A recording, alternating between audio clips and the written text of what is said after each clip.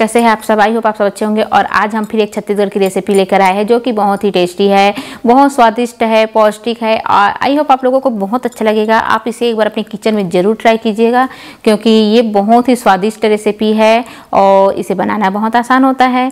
और तो इसके लिए देखिए, मैंने एक कटोरी यहाँ पर चावल का आटा ले लिया है और आधा कटोरी यहाँ पर दही है। ज़्यादा खट्टा दही नहीं लेना है, हल्का सा नॉर्मल लेना है। और यहाँ पर हम डाल देंगे थोड़ा सा मतलब एक चुटकी के लगभग हम यहाँ पर डाल देंगे बेकिंग सोडा। ज़्यादा सोडा भी नहीं डालना है यहाँ पर। और उसके बाद हम यहाँ पर दही डाल के इसे मिक्स कर लेंगे। और जितना हमको ज़रूरत पड़ेगा हम वहाँ इसमें पानी डालेंगे। क्योंकि दही कभी कभी पतला होता है कभी कभी ज़्यादा गाढ़ा होता है तो इसके अनुसार से आपको पानी कम ज़्यादा लग सकता है। तो आप अपने अनुसार से पानी यहाँ पर ऐड कर दीजिए। हमें इसका घोल जो है एकदम गाढ़ा बनाना है, ना एकदम पतला नहीं करना है। तो थोड़ा थोड़ा हम पानी ऐड करते जाएँगे क्योंकि पानी ज़्यादा ऐड हो जाएगा, इसलिए हम थोड़ा थोड़ा करके इसे मिक्स करते जाएँगे और ऐसे ही इसका एक बैटर तैयार कर लेंगे। आप एक बार ज़रूर ट्राई कीजिएगा इसे क्योंकि अभी नया चावल जब आता है तो उसका जो भी डिश हम बनाते हैं तो बहुत ज़्यादा टेस्टी बनता है क्योंकि नया चावल का जो रोटी, चीला और मोटा रोटी और कोई भी डिश हम बनाते हैं ना तो पहले मतलब पुराने चावल की अपेक्षा टेस्ट बहुत ज़्यादा इसका बढ़ जाता है। तो ज़रूर इसे आप अपने किचन में एक बार ज़रूर ट्राई कीजिएगा फ्रेंड्स तो देखिए, मैं इसको ऐसे ही मिक्स कर लेती हूँ और पानी को आपको थोड़ा थोड़ा ही ऐड करना है, नहीं तो ज़्यादा ऐड हो जाएगा। और ये देखिए गाढ़ा गाढ़ा ऐसा हमारा बैटर जो है तैयार हो जाएगा। एकदम पतला नहीं करना है, ऐसे ही गाढ़ा हमें करना है। और बिल्कुल भी लंग्स ना रहे, उसके लिए हम अच्छे से इसे फेंट लेते हैं। और उसके बाद हम इसे अब रख देंगे। इसे हम सेट होने के लिए कम से कम इसे दो घंटा के लिए हम रख देते हैं। तो इसे फेंट कर, ढक कर आप दो घंटे के लिए रख दीजिए, फिर हम बनाएँगे। इसके लिए चलो अब बनाना स्टार्ट करते दो घंटे बाद। तो इसके लिए मैं चाशनी बना रही हूँ। तो चाशनी बनाने के लिए यहाँ पर मैं एक कटोरी शक्कर लिया है तो दो कटोरी यहाँ पर पानी ले रही हूँ। और चाशनी जो है, आपको कोई तार वार वाला नहीं बनाना है। मतलब सिर्फ़ चिपचिपा होना चाहिए, जैसे कि हम लोग गुलाब जामुन के लिए जो बनाते हैं, वैसे ही हमको चाशनी बनाना है। तो देखिए, मेरा चाशनी जो उबलने लग गया है और शक्कर अच्छे से घुल गया है।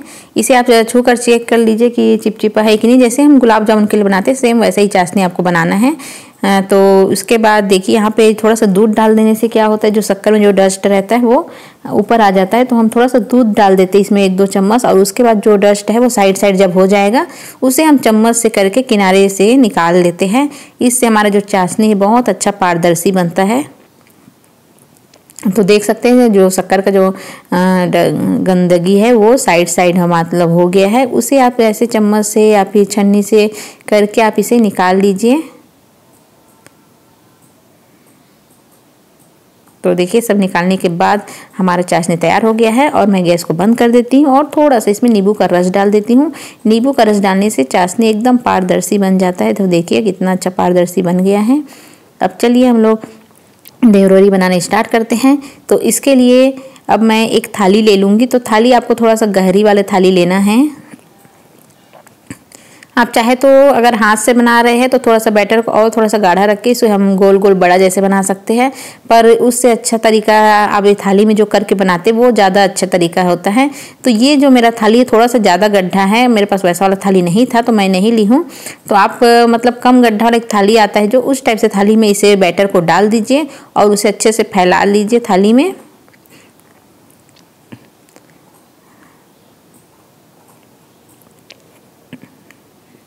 और उसके बाद ये देखिए, फैलाने के बाद इस टाइप से हो गया है। अब इसे हम बनाना स्टार्ट करते हैं। तो इस टाइप से जो चम्मच होता है, चिला पलटाने का तो उसी को आप ले लीजिए और जो तेल हमारा गर्म हो रहा है, उसी में हम इसे डुबा लेते हैं।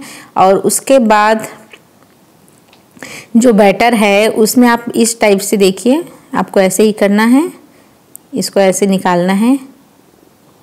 और इसे फिर गरम गरम तेल में डाल देना है। तेल में डालने के बाद चम्मच में जो और लगा हुआ एक्स्ट्रा आटा, उसे आप निकाल लीजिए थाली के किनारों में करके। और उसके बाद फिर हम तेल में डुबा के फिर ऐसे निकालेंगे। तो आप ऐसे ही करते जाइए और उसके बाद आप फटाफट से कर सकते हैं। एक दो बार आपको थोड़ा सा परेशानी होता है निकालने के लिए। फिर तेल में थोड़ा सा चम्मच को डुबा कर इसे निकालिए बैटर को और फिर डाल दीजिए। तो इस टाइप से इसका सेप बनते जाएगा।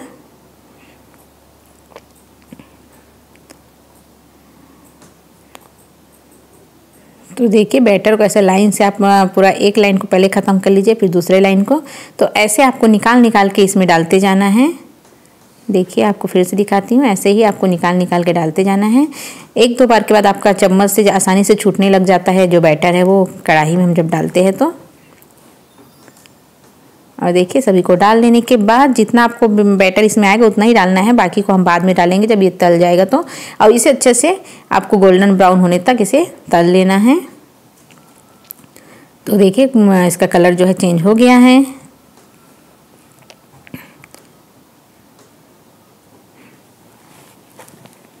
और उसके बाद हम इसे निकाल लेते हैं।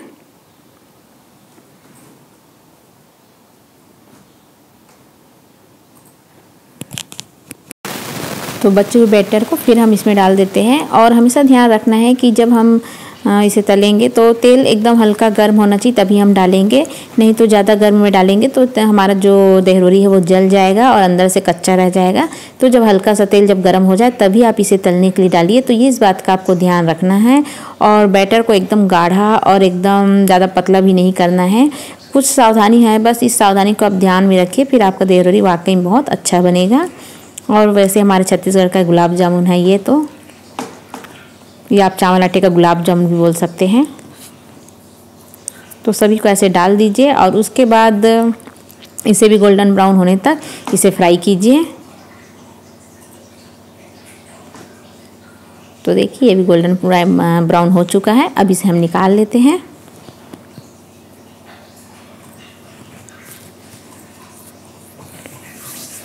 और चाशनी में यहाँ पर इलायची पाउडर डाल दीजिए और हल्का गुनगुना कर लीजिए चाशनी को। जब हम देहरुड़ी को डालेंगे तो चाशनी हल्का गर्म होना होना चाहिए, तभी इसका रस जो है अच्छे से इसके अंदर जाएगा और बहुत ही दम जूसी आपका गुलाब जामुन मतलब देहरोरी बनेगा। तो हल्का सा मैं गर्म कर दी हूँ। अब गैस को बंद कर देती हूँ हल्का गर्म होने के बाद। और उसके बाद यहाँ पर हम इलायची पाउडर, आपको अच्छा फ्लेवर चाहिए तो इलायची पाउडर डाल दीजिए। आप केसर के कुछ धागे भी आप यहाँ पर डाल सकते हैं, जिससे कि इसका कलर जो है बहुत अच्छा केसरी आ जाएगा। तो बस हमारा ये गुलाब जामुन बन के तैयार है। अब इसे हम एक प्लेट में ले लेते हैं थोड़ा ठंडा, हल्का मतलब दो तीन मिनट रखने के बाद। इसमें चाशनी जब अच्छे से आ जाएगा तो आप इसे चाशनी से बाहर निकाल लीजिए और चाहे तो इसको ड्राई फ्रूट या कटे हुए पिस्ते से भी आप सजा सकते हैं। तो देखिए देरोरी बन के तैयार है और बहुत ही स्वादिष्ट मिठाई है। इसे ज़रूर ट्राई कीजिएगा। तो चलिए फ्रेंड अगले वीडियो में मिलते हैं। तब तक ली बाय, टेक केयर।